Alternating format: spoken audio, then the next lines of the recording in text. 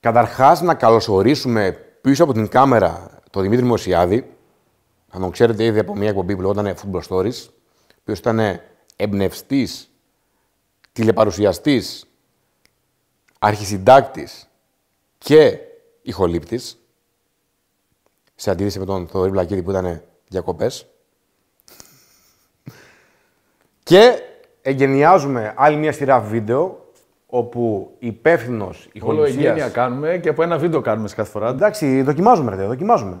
Να δοκιμάζεις πράγματα. Γιατί η πραγματική αποτυχία είναι η παρέτηση και όχι η αποτυχία μετά από δοκιμή. Είμαστε στο ένα λεπτό και ήδη πήρα το motivation που ψάχνατε σε αυτό το βίντεο. Θα μιλήσουμε για ένα θέμα το οποίο βρίσκω πάρα πολύ ενδιαφέρον και αρκετοί από εσάς έχετε ζητήσει στα μηνύματα που δεν βλέπω ποτέ, να ομολογήσω.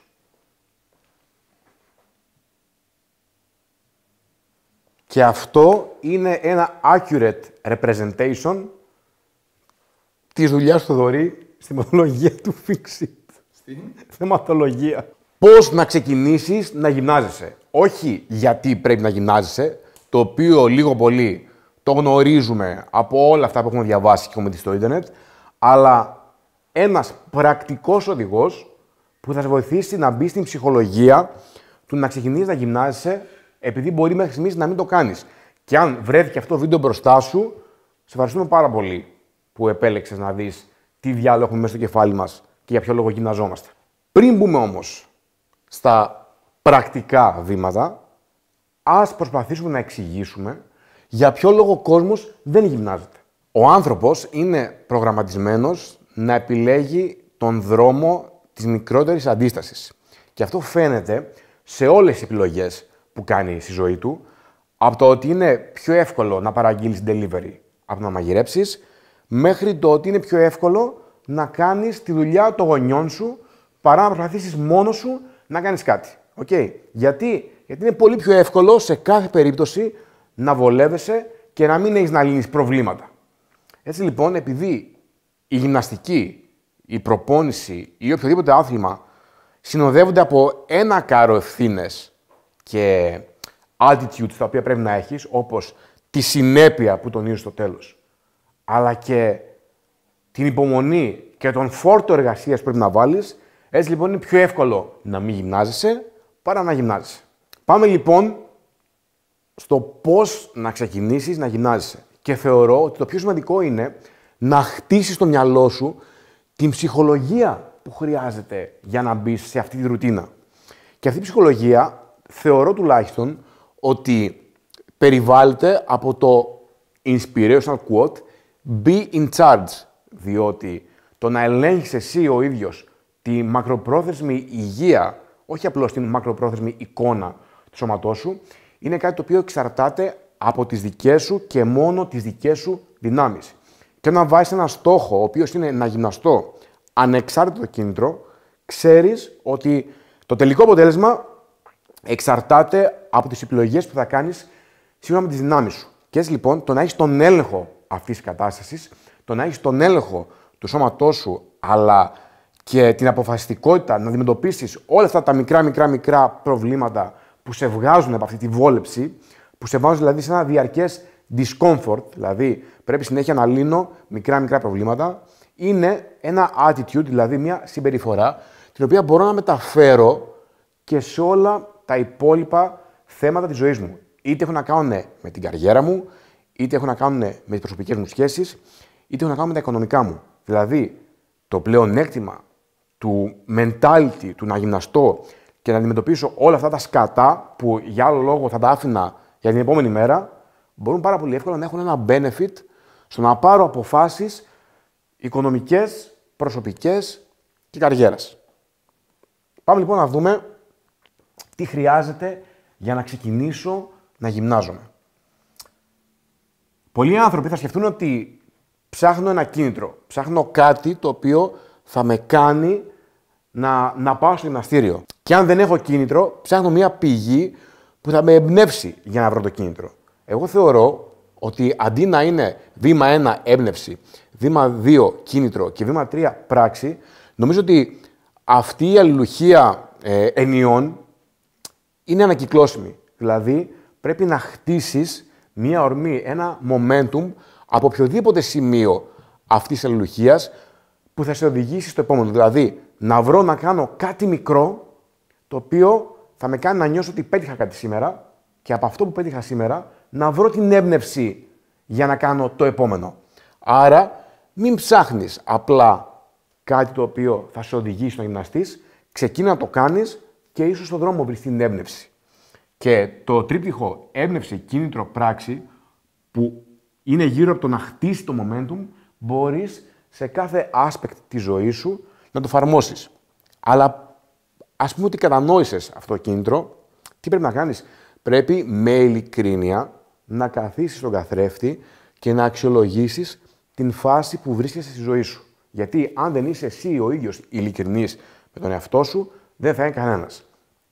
Και αυτό που θέλω να πω είναι ότι είναι πιο εύκολο να ξεκινήσει να γυμνάζεσαι με κάποιες συνθήκες ζωής οι οποίες στο επιτρέπουν, παρά από εκεί που έχεις συνηθίσει σε μια ρουτίνα του καναπέ και του junk food, να πεις ξανά μια μέρα θα γυμναστώ. Το νούμερο 2 είναι να κάνεις αυτή την αξιολόγηση και να πεις «ΟΚ, έχω αυτά και αυτά και αυτά τα σκατά η ζωή μου, ποιες μικρές αλλαγές μπορώ να εφαρμόσω ώστε σιγά σιγά πριν καν πατήσω στο γυμναστήριο να χτίσω ένα μονοπάτι το οποίο θα με οδηγήσει στο γυμναστήριο. Δηλαδή, αν πεις ότι δεν είμαι ακόμα ψυχολογικά έτοιμος για να γυμναστώ, ας δούμε σε τι κατάσταση είναι η διατροφή μου.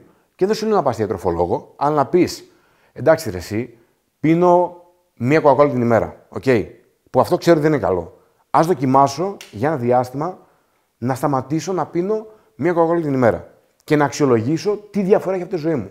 Σου υπόσχομαι ότι το να κόψεις τα αναψυκτικά σε ένα μήνα, σε διάστημα ενός μηνός, θα δεις πολύ μεγάλη διαφορά στο λίπο το οποίο έχει το σώμα σου πάνω, χωρίς να κάνεις τίποτα άλλο. Δηλαδή, το point δεν είναι αυτό καθ' αυτό να κόψεις τα αναψυκτικά.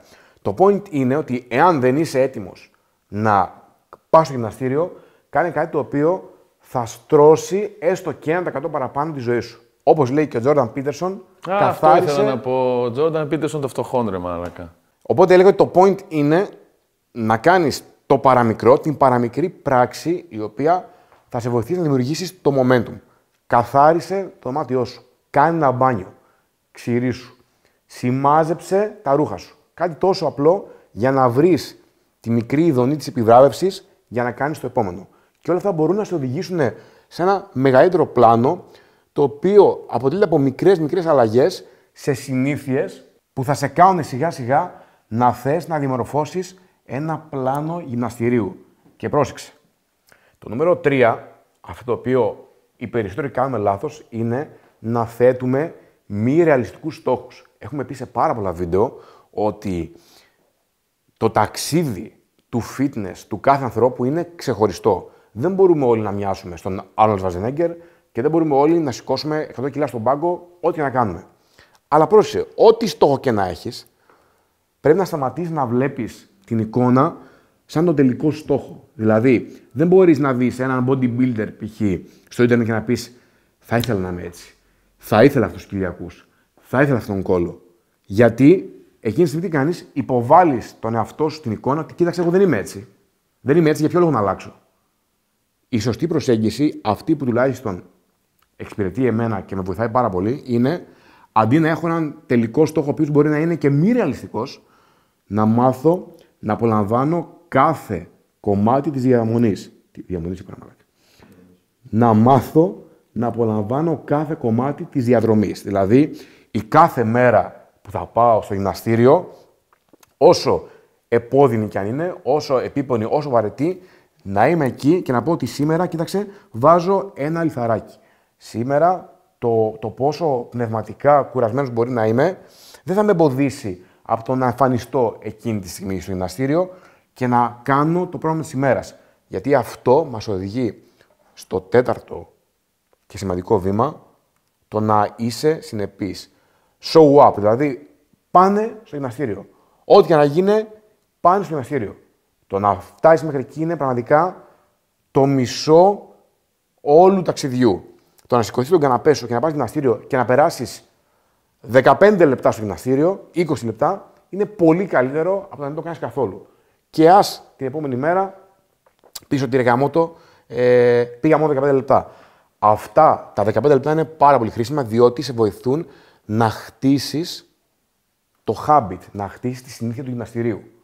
Το πιο σημαντικό, αυτό το οποίο μας βάζει στην ρουτίνα μας, είναι οι μικρές μικρές συνήθειες που δημιουργούν κιόλας τη ρουτίνα μας.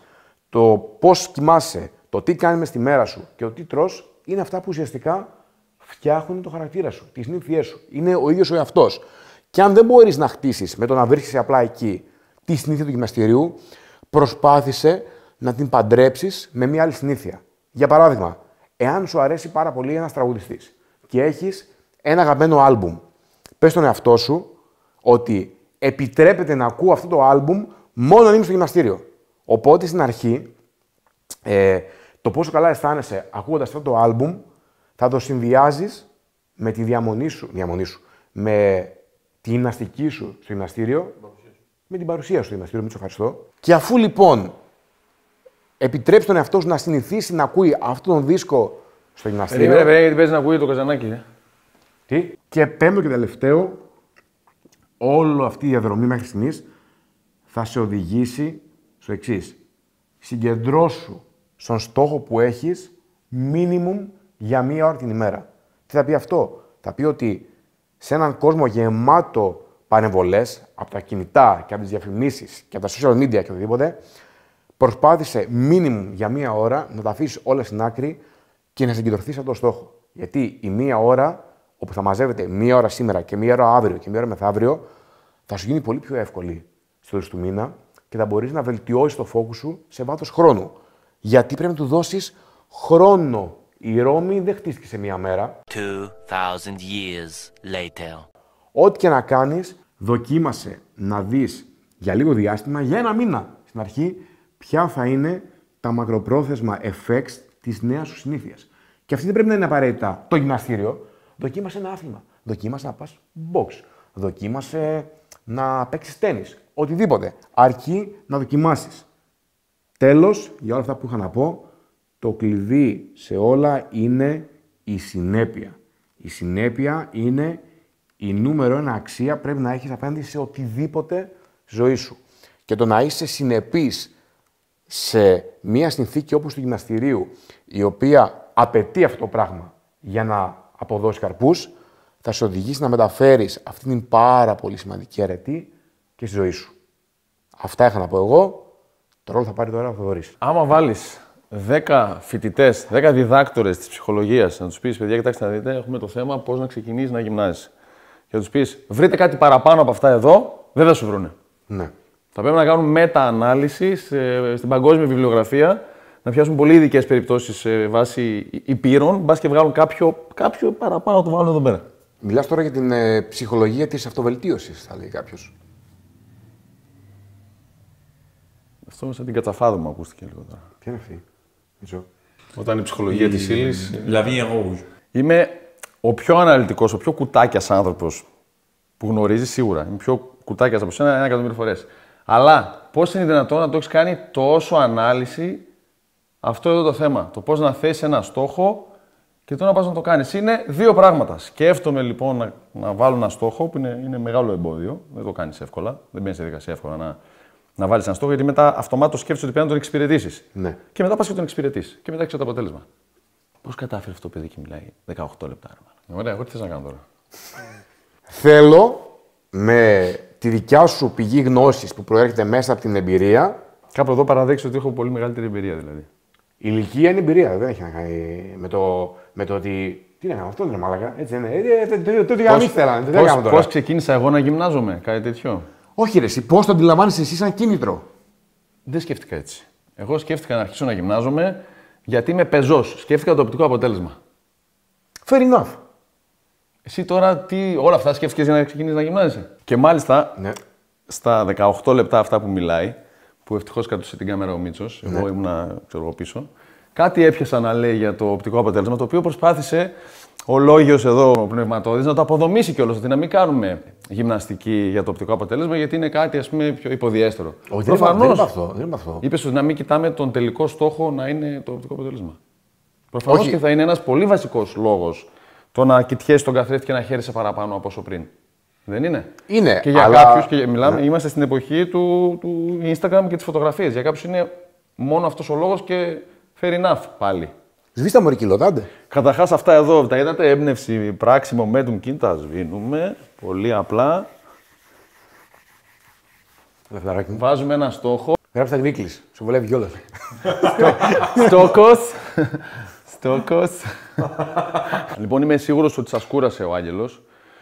Αν ήταν καθηγητής, δυστυχώς θα υπέφερε στο μάθημά του γιατί θα κοιμόντουσαν όλοι εκεί στο τελευταίο θρανείο. Δηλαδή, εγώ θα κοιμόμουν σίγουρα. Ε, σε μια πιο light ε, ε, περίληψη όλης αυτής της ιστορίας. Να το κάνουμε λίγο πιο απλά. Μπορείτε να κάνετε skip, να πάτε κατευθείαν σε εκείνο το κεφάλαιο, θα βάλω και chapters. Το να ξεκινήσεις να γυμνάζεσαι είναι άλλος ένας στόχος. Καλό είναι να βάζεις στόχους στη ζωή σου και να τους πετυχαίνεις. Αλλά η, η διαδικασία για να πετύχεις ένα στόχο είναι πολύ συγκεκριμένη. Να το σκεφτείς, να το θέσεις και να το εξυπηρετήσεις. Δεν ξέρω τι σας έλεγε τόση ώρα, αλλά είναι down to basic. Οι άνθρωποι οι οποίοι. Μην κουνάς κεφάλι και πίσω. οι άνθρωποι οι οποίοι είναι υπεύθυνοι με τον εαυτό τους, θα έλεγα ότι ανήκω και εγώ σε αυτή την κατηγορία, ίσως να φοβούνται να βάλουν ένα στόχο γιατί ξέρουν ότι μετά πρέπει να πάνε να τον ε, υλοποιήσουν. Άλλοι οι οποίοι είναι λίγο πιο ε, αφελείς, βάζουν πολύ εύκολα στόχους, αλλά μετά δεν βάλουν ποτέ στην υλοποίηση. Διαλέξτε ποιος είστε και λύστε αυτό το πρόβλημα. Στην ανταμοιβή τώρα, γιατί είναι πάρα πολύ σημαντικό, εγώ πάω κατευθείαν στην, αντα, στην ανταμοιβή.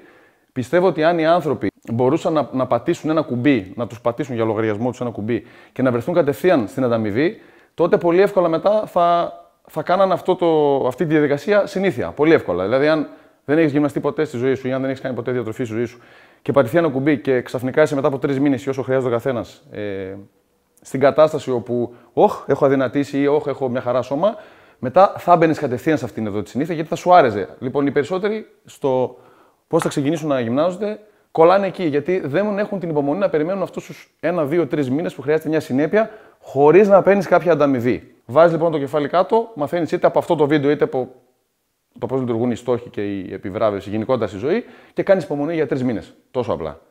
Τώρα το τρεις είναι ε, σχετικό. Για άλλους είναι τρεις, για άλλους είναι λιγότερο. Εξαρτάται με τι ένταση θα μπεις. Άλλο βίντεο. Μας τα είπαν κι άλλοι.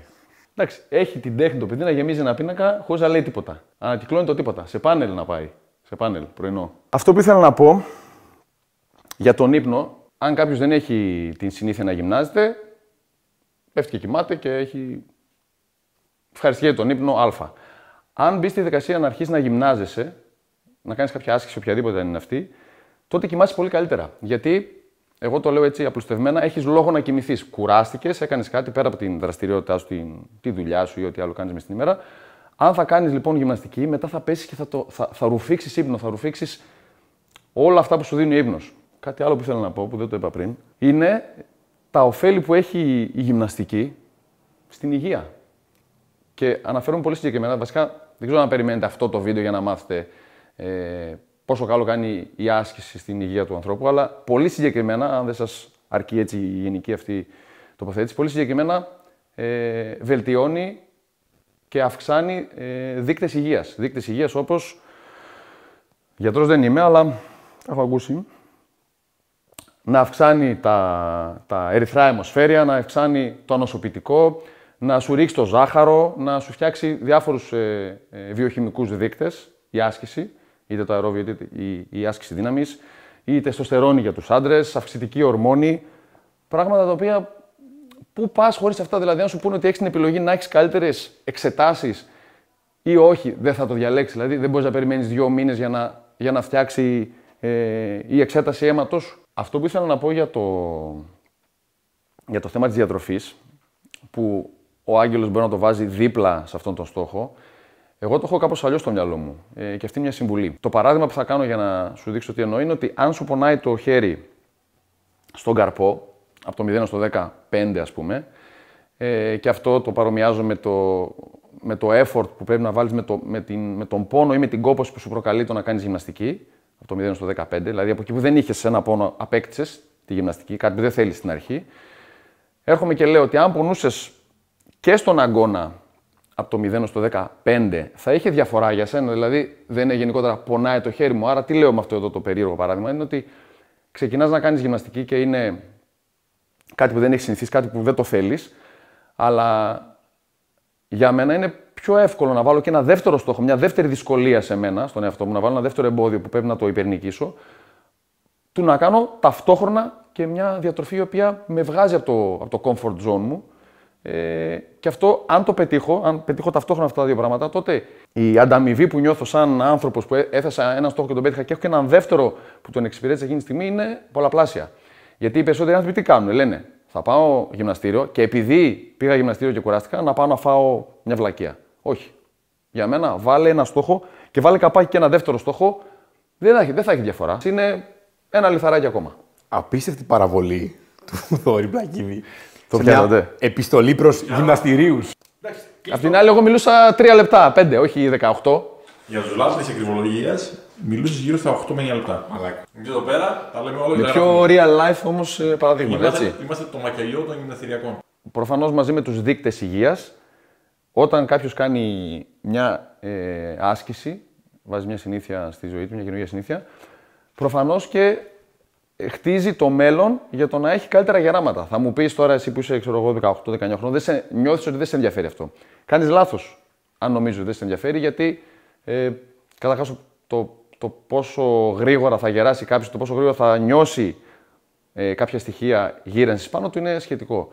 Ε, μπορεί κάποιος, επειδή δεν κάνει τίποτα, στα 30 του να νιώθει βαρύς. Ε, οπότε, αν εφαρμόσεις, αν βάλεις την άσκηση στη ζωή σου, χτίζεις πολύ καλύτερα γεράματα. Δεν ακούγεται και πολύ καλό κίνητρο και δεν το λέω επειδή είμαι σε αυτήν την ηλικία που είμαι. Α, εγώ βλέπω, ας πούμε, τους συνομήλικου μου, οι οποίοι δεν μπορούν να κάνουν βασικές κινήσεις. Γιατί, γιατί ε, δεν κάνουν τίποτα στη ζωή τους. Έχουν την κυλίτσα με το σπλαχνικό τους το λίπος και έχει ξεκινήσει η κατηφόρα. Βάλε λοιπόν λίγο άσκηση και θα έχει καλύτερα γεράματα, γιατί μέχρι και τη γιαγιά μου, που είναι 94 χρονών, τη βάζω να κάνει προπόνηση.